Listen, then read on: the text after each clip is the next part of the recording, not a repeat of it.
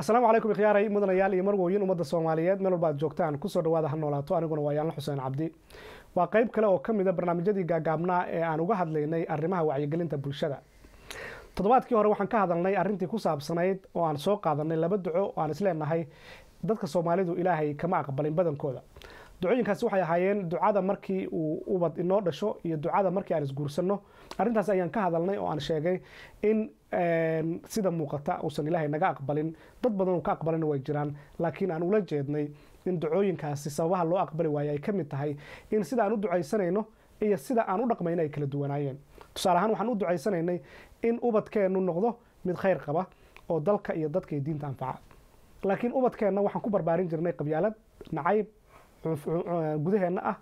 Maxaa la yidhahdaa? Waxyaabo badan oo dhibaato u keenay noloshiisii sababtoo ah waxaan soo saarnay ubadkii aan inagu barbaarinay. Ma aha ubadkii aan u ducaynay ubadkii aan barbaarinay aan guriga ku barbaarinay ee lagu barbaariyey qabyaaladda iyo qurunka ayaa dalkii iyo dadkii u soo baxay dhibaatada dhacdana iyagaa keenay. Taas hadda halkaa uga gudbo qaybtan maanta waxaan ka hadli doonaa arrintan ku saabsan qabyaaladda ama qabiilka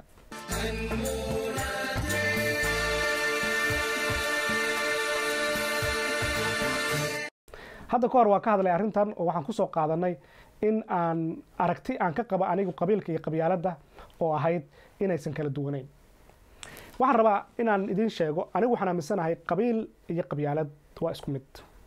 Waxayse isku mid u yihiin qabiilka waa geed dhacaanka iyo midhaha uu dhalana waa qabyaalad. Haddii aan qabiil jirin qabyaalad ma timaado. Marka dadka kala saaraya ee leh qabiilka ayaa fiican ee qabyaaladda aan ka tagno waxaan u arkaa inay yihiin dad aan diyaar u ahayn in aan ka gudubno dhibaatadana haysata.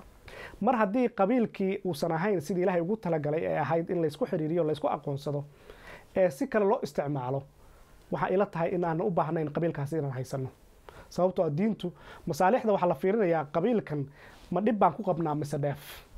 Haddii dhibkii iyo dheeftii ay dhibkii u badnaado waxay ila tahay in arrintaasi ay tahay inaan ka gudubno oo aan wax kaloo xala u raadino tan kalaan kuusoo qaadaya haddii uu qabiilkani yahay qabiilkii ilaahay qur'aanka ku sheegay sidee ku dhacday qofka soomaaliga ah in laga dhaadhiciyo inay hooyadii shisheeye tahay abtigii shisheeye yahay adeerkii tol yahay? Maxay ku dhacday in nin abtigii ku duulo oo uu dilo?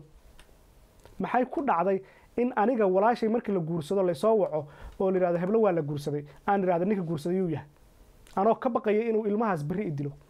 U fiirso waxaan ka baqayaa waa ilmihii ilaahay iga beeray ee walaashay dhashay weeye waxaan ka baqayaa. Wax kalena maaha cunugu ma qaldana. Cunugu ma qaldana. Laakiin waxa qaladka keenaya waxa weeye dhaqankan qabayalida qabaliyadda ee aan haysano ayaa sababaysa in ilmaheenii aan ka baqno walaashaa cunugay dhashay markaad ka baqdo xaggeed ku noolaanaysaa abtigaa markuu kaa baqo uu kaaga shakiyo inaad reer hebel tahay ama uu aaminsan yahay abtigaa inaad shisheeye ka tahay ama aad adiga aaminsan tahay abtigaa inuu shisheeye yahay. Qabiilkaas weeye qabiilka ay soomaalidu u doodayaan ay leeyihiin aan haysano waxaa lagu leeyahay adiga qoladaada waa aqaanaa hooyada ayeeta waa hooyadaa ogow. Adiga hooyadaa ayaa lagu weydiinayaa qabiilkaaga qabiilkeeda. Oo hooyada yay kaloo dhashay soo adi kuma dhalin. Ha hooyadaa maxay qabiil kale ku noqonaysaa? Waa qabyaalad. Sababtoo qabyaaladda waxaan dhalaysa okay. Xaaskaaga qoladii doonta ha ahaato xaaska adiga kuu dhaxday ubadka ku dhashay sidee lagaaga dhaadhicinayaa waa qabiil kale?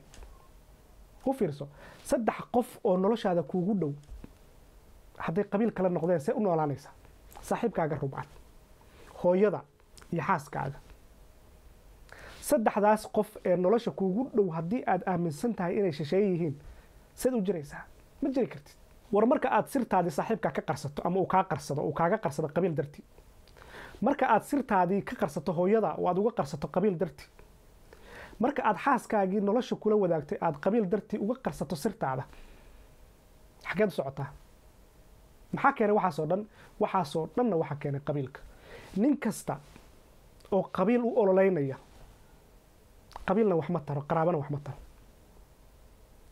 Diinta qaraabadii ay tiri hala xiriiriyo qabiilka ma aha qaraabadii ilaahay qur'aankiisa ku sheegay oo rasuulku ka dardaarmay ee riximka ahaa waa abtiga iyo habaryarta iyo adeerka iyo eedada iyo ehelkaaga wey nin qaraabadiisi gooyey ee albaabka ka xirtay ee telefoonada ka xirtay ayaa u halgamaya qabiil ay qabiil wax ku kacsanaya. Ma soconayso inaan qabiil sii haysano qabiilka haddaan haysanayno oo dadka ay leeyihiin qabiilka waa diin diintuu ka mid yahay hala ilaaliyo. Qabiilka waxaan haysanaynaa markii uu u noqdo sidii ilahay ugu talagalay oo ahayd in riximka iyo qaraabadii iyo ehelkii la xiriiriyo. Inaan la isku dulmin oon qabiil qabiil dartii loogu duulin. Waxyaabaha la yaab kale waxaa ka mid ah nin baa la ii sheegay in loo dilay oo qabiilkiisii u dileen isagoo hooyadii difaacaya hooyadii waa qabiil kale. Gurigaa loogu soo galay waxaa la yidhi hooyadaa waa qabiil kale waa inaan dilnaa. War sidee hooyaday qabiil kale inay noqotay adigaa kuu sheegay ma hooyada aniga i dhashay ayaad u dilaysaa waa reer hebel. Anna aad leedahay tolan ah ma abtigay ayaad dilaysaa? Ma wiilka abtigay dhalay ayaad dilaysaa? Oo aad leedahay waa shisheeye ma seedigay xaaskayga la dhashay ayaad leedahay waa shisheeye ilmahayga abtigood miyaad leedahay waa shisheeye arrimahaas oo dhan waxa keenay waa qabiilka. Inta aan qabiil haysanana waxa noo badbaadaya ma jiraan caqli iyo cilmi iyo xoolo iyo dal iyo dad waxa noo badbaadaya ma jiraan. Inta ayaan ku soo gabagabaynayaa tusmadan gaaban. Intaynu mar kale kulmi doonno waayaan la xuseen cabdi oo idin leh sidaa iyo nabadgelyo fadlan ha ilaawin inaad subscriber ka noqoto janaalka ha noolaato. Waa mahadsantaha